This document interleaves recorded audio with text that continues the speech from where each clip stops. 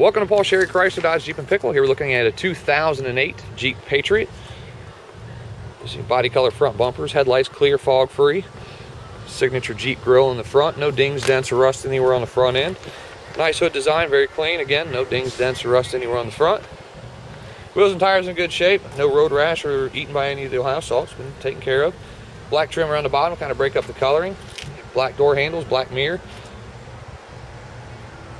Deep tinted glass in the back. Does have a roof rack on it. No dings, dents, or rust anywhere coming down the passenger side. Body color bumper, bumper with the Patriot logo in here. This is a four-wheel drive. No dings, dents, rust anywhere on the back. Driver side the same way. Very well taken care of.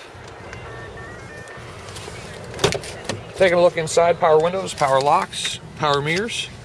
This does have the two-tone cloth interior, little gray, little black.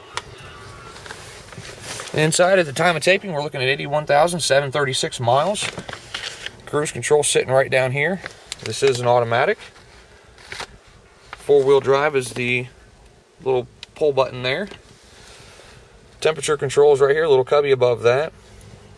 CD player with auxiliary port in the bottom left corner. You plug in your, your phone, your MP3 player, iPod, whatever you might have. This is available at Paul Sherry's. Visit us on the web at sherrychrysler.com.